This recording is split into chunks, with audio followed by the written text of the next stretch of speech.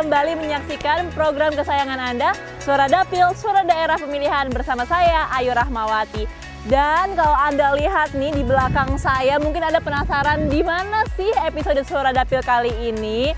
Saya saat ini sedang berada di pantai Pasir Timbul. Ada yang tahu di mana? Ya, betul. Sekarang saat ini saya tengah berada di Raja Ampat, Papua yang katanya nih merupakan salah satu destinasi wisata terindah di Indonesia atau bahkan di dunia. Dan pada perjalanan kali ini, kemarin tepatnya saya akan melihat bagaimana pembangunan Papua, tepatnya di Papua Barat, bersama dengan anggota Komisi 5 DPR RI Bapak Jimmy Demianus Iji. Nah, kemarin pemirsa ini saya telah mengunjungi bandara yang ada di Papua Barat, tepatnya di Sorong, yaitu Bandara Deo yang akan diusulkan menjadi bandar udara embarkasi haji pertama di timur Indonesia. Seperti apa? Kita lihat bersama.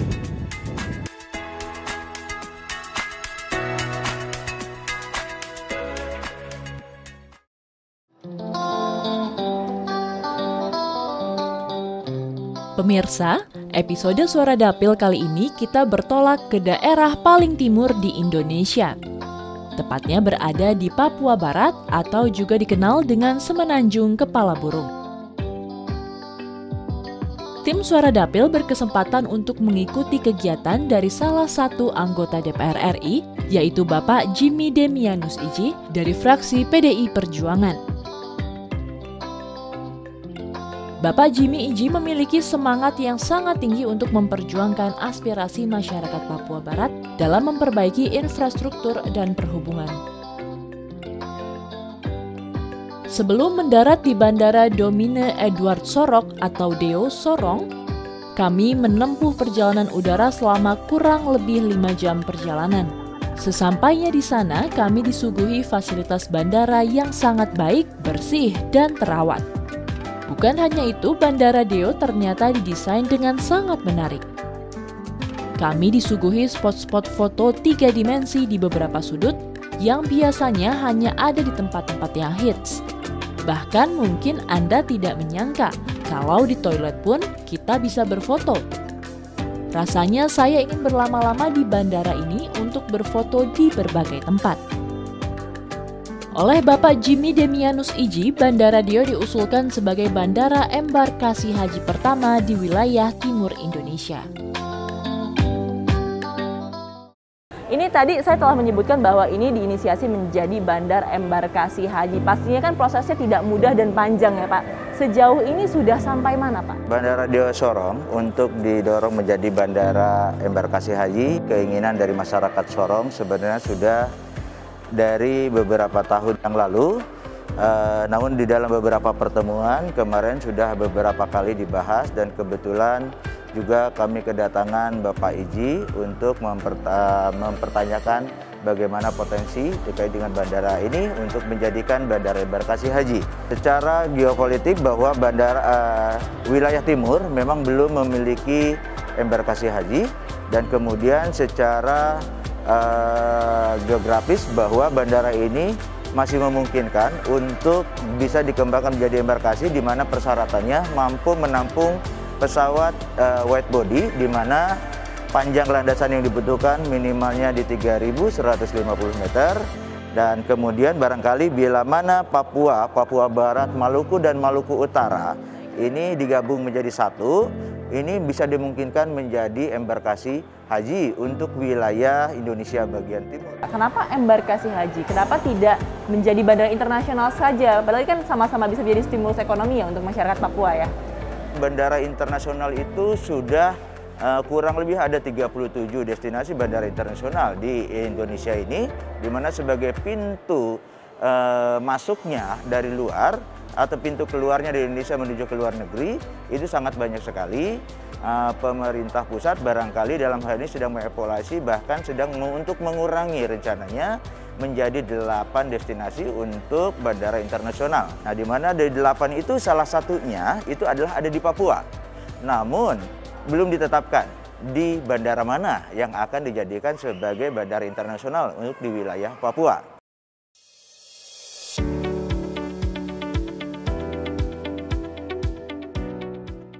Sayangnya, pada kesempatan kali ini Bapak Jimmy sedang tidak bisa bergabung dengan tim Suara Dapil di Bandara Deo karena sedang melakukan check up kondisi kesehatannya. Akhirnya tim Suara Dapil berkunjung ke kediaman Bapak Jimmy untuk berbincang langsung mengenai masalah infrastruktur Papua. Pak Jimmy. Mari, selamat malam. Selamat malam, saya Ayu dari TV Parlemen, Pak. Silakan, Maaf, Ayu. mengganggu waktunya dengan si ganteng nih. Halo, siapa namanya? Agi. Aku boleh ngobrol-ngobrol sedikit nggak Pak? Tadi habis dari bandara, ini mau ngobrol-ngobrol lagi nih Pak tentang keadaan di Papua. Oh boleh, Pak? mari boleh. saya sambil duduk boleh Pak? Boleh, silakan. Terima kasih Pak. Iya. Ini sedang santai-santai nih Pak dengan si ganteng tercinta ya. Iya, ini kan uh, putra uh, satu-satunya, jadi harus didedikasikan untuk ke depan jadi penerus lah. Ya.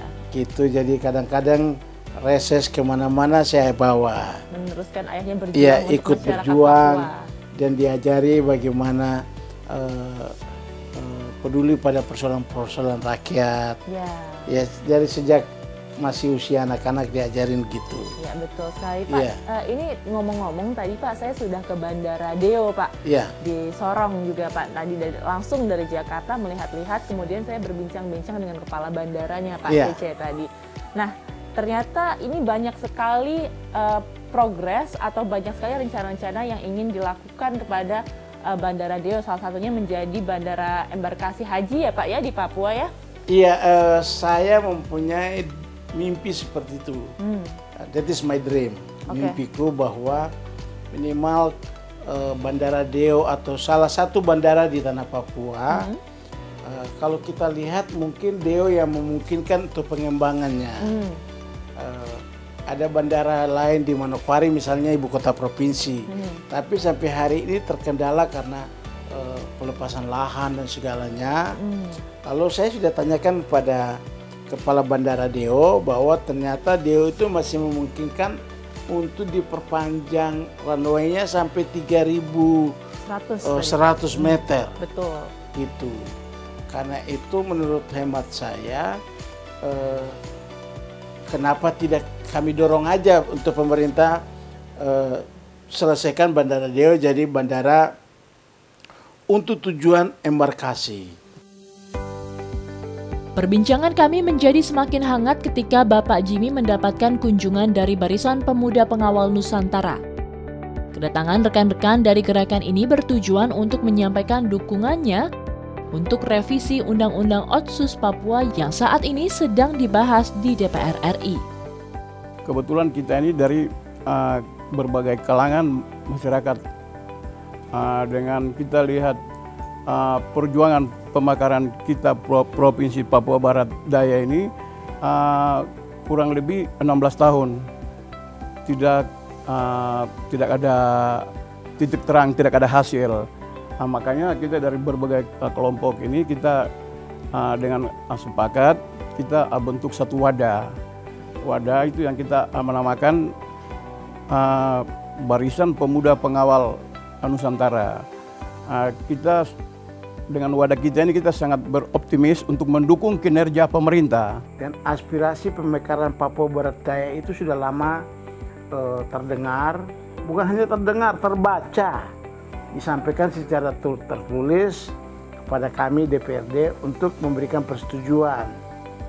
Uh, pertimbangannya ada beberapa hal bahwa dari aspek uh, pertahanan dan keamanan bahwa uh, Papua Barat Daya ini berbatasan dengan uh, Republik Palau, Republik Palau bahkan Filipina. Ini kan daerah-daerah yang potensial menjadi uh, ancaman bagi negara ini. Makanya kita harus harus tengok ke belakang historinya dulu bahwa undang-undang otonomi khusus itu lahir dalam suasana apa. Nah, kita tahu bahwa uh, Papua dengan tesisnya bahwa merdeka itu harga mati. Waktu itu maka Jakarta keluarkan antitesisnya otonomi khusus. Maka otonomi khusus itu adalah sintesa, jalan tengahnya. Makanya ketika adik-adik ini ingin eh, mengawal pembahasan revisi itu, saya pun menyambut dengan lapang dada. Itu karena maksudnya baik dan harusnya didukung oleh siapa pun. Karena bagi saya yang tidak jauh berbeda dengan pandangan mereka bahwa otonomi khusus ini adalah solusi final. Ya, uh, pemirsa ini menarik sekali percakapan kita malam ini. Setelah ini kita masih akan mengikuti kegiatan dari Pak Jimmy untuk melihat bagaimana dapil atau daerah pemilihan Papua Barat. Maka dari itu tetap pastikan Anda mengikuti kami dalam program Suara Dapil, Suara Daerah Pemilihan.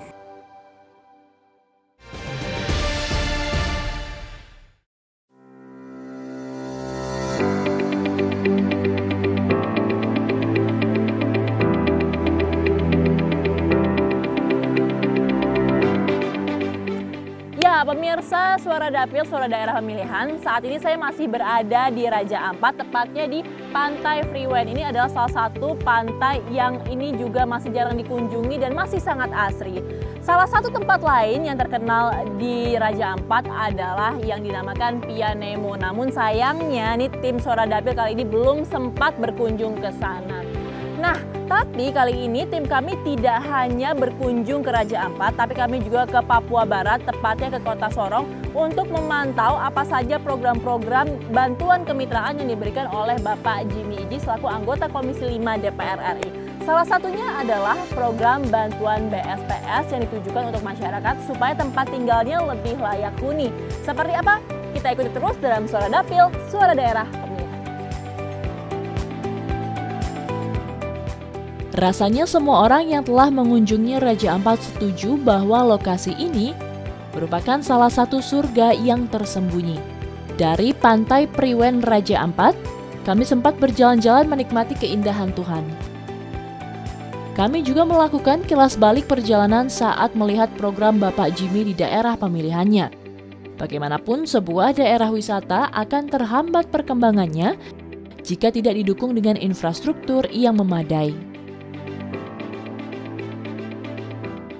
Salah satu hal yang menjadi perhatian utama Bapak Jimmy Iji adalah mengenai masalah perhubungan di Papua Barat. Kali ini lelaki kelahiran 21 Maret 1968 ini menyoroti mengenai pelabuhan Arar yang dirasa belum berfungsi secara optimal dan maksimal. Ia juga menyinggung mengenai tol laut sebagai salah satu program Presiden Joko Widodo. Sorong ini salah satu daerah yang termaju sejak Belanda sebagai daerah penghasil migas sudah hidup dari zaman dulu sampai sekarang tetap eksis saja sebagai penghasil migas. Gas pun di mana-mana keluar. Nah, kita membutuhkan satu pelabuhan ekspor. Saya sebagai wakil Papua Barat sudah berkali-kali menyuarakan itu. Cuma saja jawaban dari Dirjen Lautnya bahwa Arar ini nggak bisa dikembangkan lagi Pak Jimmy Soalnya di situ ada terumbu karang. Nah, terus pertanyaan saya sebenarnya siapa yang mengiyakan daerah itu dibangun bandar, uh, pelabuhan? Kalau memang tidak siap di situ kan bisa disurvei yang lain. Hmm, hmm. Yang jelas Papua dan Papua Barat itu membutuhkan pelabuhan ekspor.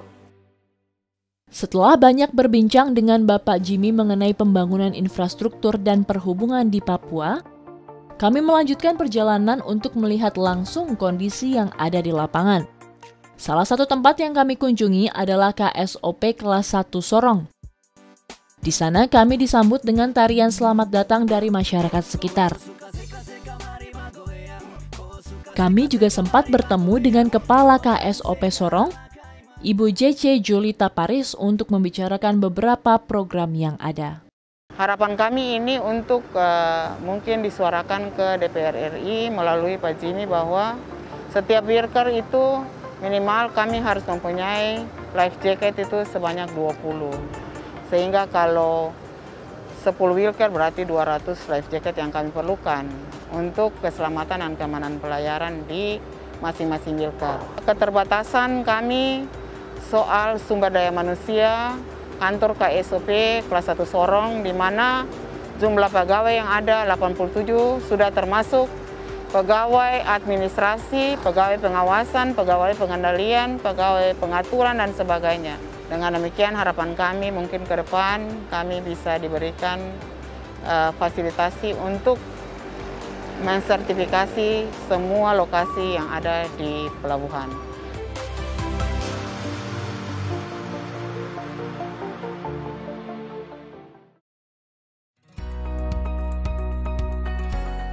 Tim Suara Dapil melanjutkan perjalanan ke kantor distrik navigasi kelas 1 Sorong yang masih di bawah Kementerian Perhubungan. Di sana kami berbincang dengan Bapak Mukminin selaku PLT Kepala Distrik Navigasi kelas 1 Sorong. Tak hanya itu, tim Suara Dapil juga diajak melihat langsung program padat karya yang diresmikan oleh Bapak Jimmy Iji sebagai bentuk program kemitraan Komisi 5 DPR RI. Ini adalah salah satu program Kementerian Perhubungan. Hmm. Ini namanya program padat karya. Baik. Padat karya itu di mana adalah upaya untuk membuka uh, peluang kerja bagi masyarakat masyarakat di sekitar kantor kita yang tertimpa yang terdampak uh, eh, COVID-19 sehingga ada beberapa yang kehilangan penghasilan dengan padat karya itu bisa membantu mereka untuk mendapatkan penghasilan. Kemudian ini kan uh, Kementerian Perhubungan adalah salah satu mitra dari Komisi 5 DPR RI ya Pak ada program apa saja sih Pak yang dijalankan di sini yang bekerja sama dengan Komisi 5 DPR itu? Banyak. Jadi semua program-program itu memang berkaitan dengan Komisi 5 yang kebetulan adalah sebagai mitra dari Kementerian Perhubungan, terutama Kementerian Perhubungan Laut. Jadi ada program-program konektivitas laut. Nah, untuk uh, distrik navigasi kelas 1 Sorong itu adalah untuk keselamatan pelayaran.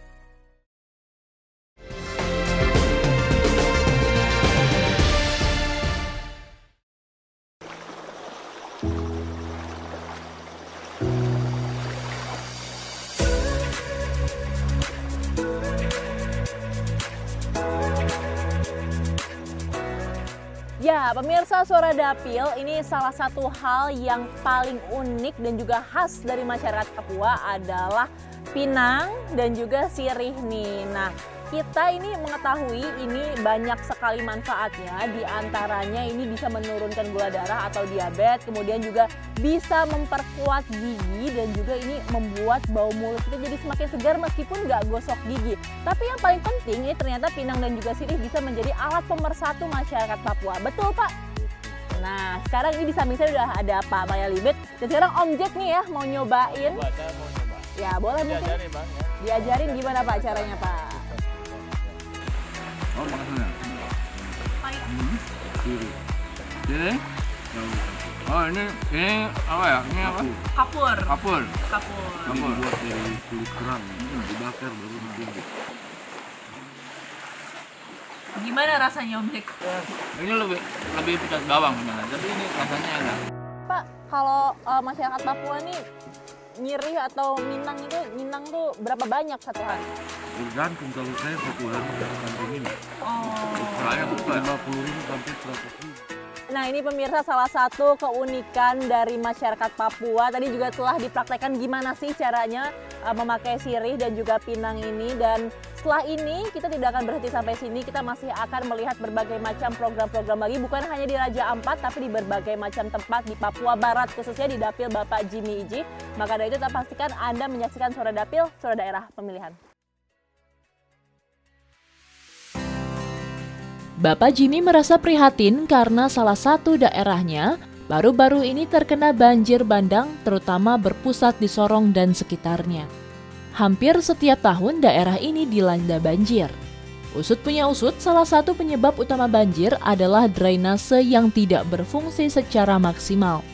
Kami berkesempatan melihat langsung proyek yang diinisiasikan oleh Bapak Jimmy bersama dengan mitra kerjanya yaitu Kementerian PUPR. Proyek tersebut adalah pengendalian banjir Sungai Remu.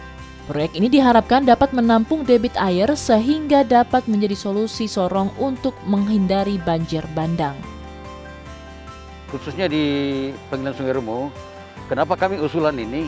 Karena dari Komisi 5 DPRI yang untuk untuk meminta kami untuk usulan dana ini, kenapa nampak banjir yang besar di Sorong? Sehingga karena kalau banjir, ini kinya ki 5 kalau sampai dia dapat dapat Q10 itu bandara khususnya di bagian hilir itu terendam semua. Nah, ini kan sebenarnya salah satu dampak banjir yang saya tahu di Sorong Papua Barat ini mengenai drainase yang juga masih buruk ya Pak ya. Itu boleh dijelaskan nggak sih Pak, e, seperti apa drainase yang ada di Papua Barat seperti ini? Kalau khususnya drainase, itu kalau untuk di Sungai Remu, kami akan normalisasi, kami akan normalisasikan dia drainase untuk pembuangan buang ke sungai. Dengan dampak yang banjir kayak gini, mungkin ada spot-spot dari Pak Raji Meiji untuk kami sehingga uh, kota Sorong tidak dapat banjir lagi. Kita lihat kalau kota Sorong ini harus ada pembangunan yang lebih bagus lagi masalah taluk supaya tidak terdampak banjir kayak yang kemarin. Karena kalau terdampak banjir, ya masyarakat banyak, masyarakat umum banyak yang setengah mati. Kami senang, kami dari hak rakyat kami senang bahwa ada pembangunan ini supaya kota ini aman.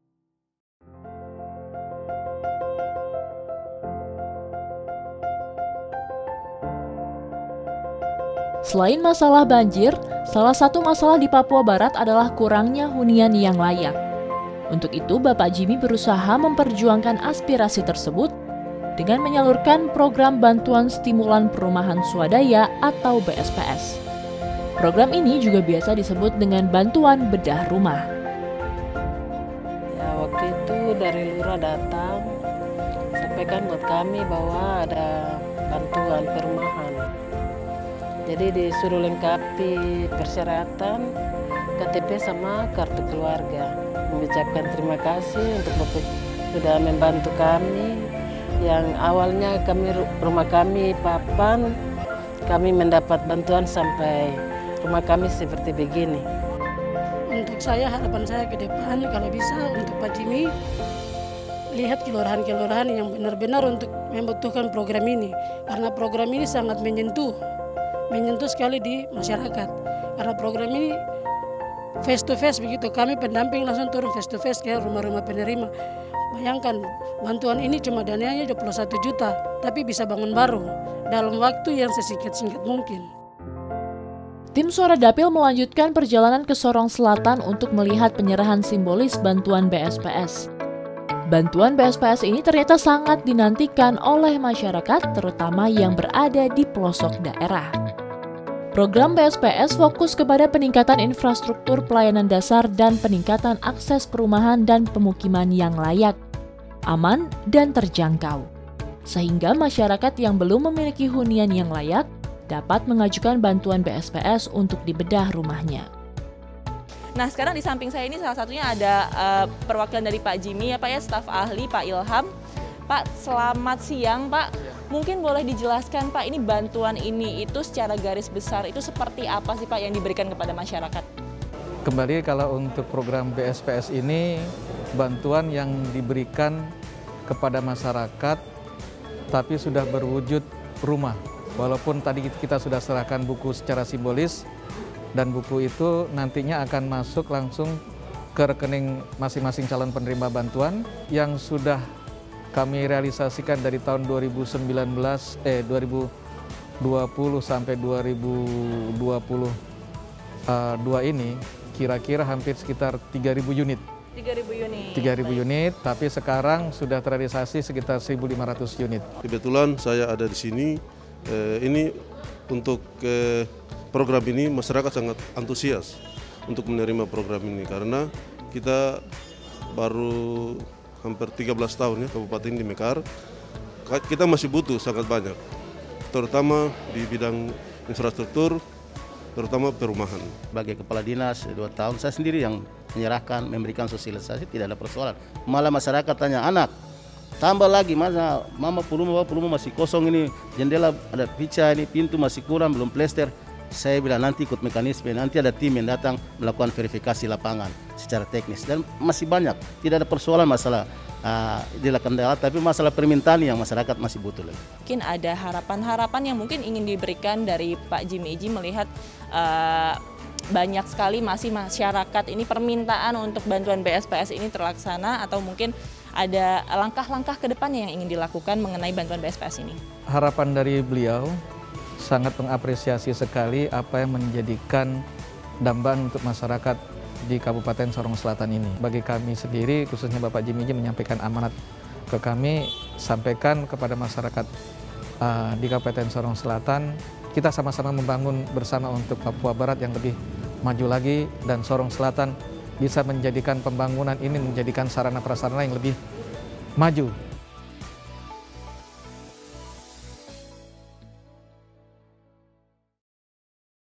Perjalanan kami lanjutkan ke pesantren Anur Teminabuan, Sorong Selatan. Di sana kami juga berkesempatan untuk melihat bantuan program dari Bapak Jimmy untuk meningkatkan kualitas sanitasi pesantren. Sementara ini kami berterima kasih kepada Bapak Jimmy telah memperhatikan uh, pesantren kami. Itu berarti uh, ingin sekali melihat bagaimana Papua ini berkembang dan dia di sini kami sangat bangga karena memperhatikan walaupun beliau adalah seorang bukan latar belakang Islam tapi dia memperhatikan pesantren kami dan kami sangat-sangat apresiasi hal tersebut. Wih,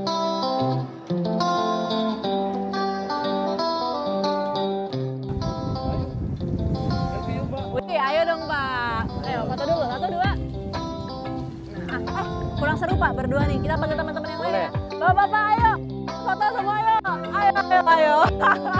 nah, ayo, ayo. Kita foto bareng-bareng. Satu, dua.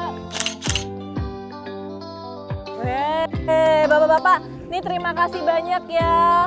Luar biasa ini pertama kalinya saya ke Papua. Indah sekali tempatnya. Doakan saya bisa kembali lagi ke sini ya Pak ya. Nanti kita ketemu lagi ya Pak ya. Oke, dan pemirsa, perjalanan ini sekaligus juga menutup episode Suara Dapil, Suara Daerah Pemilihan kali ini di Papua Barat. Kita berharap semoga nantinya ke depannya ini infrastruktur, pengembangan perhubungan, dan berbagai macam program yang dibawa oleh Bapak Jimmy Inji ini berdampak baik bagi Papua Barat dan akan menimbulkan atau merangsang stimulus ekonomi yang ke depannya. Dan demikianlah saya Ayu Rahmawati beserta seluruh kerabat kerja dari tim Suara Dapil yang bertugas mengucapkan terima kasih atas perhatian Anda. Sampai bertemu di program Suara Dapil, Suara Daerah Pemilihan berikutnya. Dadah!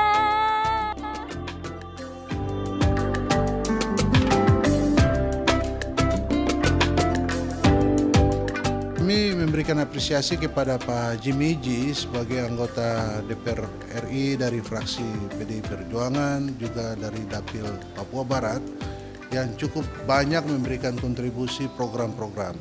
Salah satunya termasuk di mana mendorong Raja Ampat menjadi 10 Bali Baru yang menjadi program nasionalnya Pak Jokowi. Nah, tentunya dengan adanya 10 Bali Baru ini saya yakin dan optimis dukungan dari Pak Jimmy juga pasti akan uh, mengisi daripada program yang dimaksud itu. Baik itu dari sisi daratnya, dari sisi lautnya, atau dari sisi perikanannya, atau dari sisi pariwisatanya. Dengan ruang lingkup yang ada dimiliki oleh Pak Jimmy dalam Komisi 5 sebagai anak negeri Raja Ampat, saya yakin Pak Jimmy juga punya keberpihakan yang jelas terhadap Raja Ampat secara keseluruhan dalam pengertian memberikan dukungan, dorongan infrastruktur dalam percepatan 10 Bali baru itu.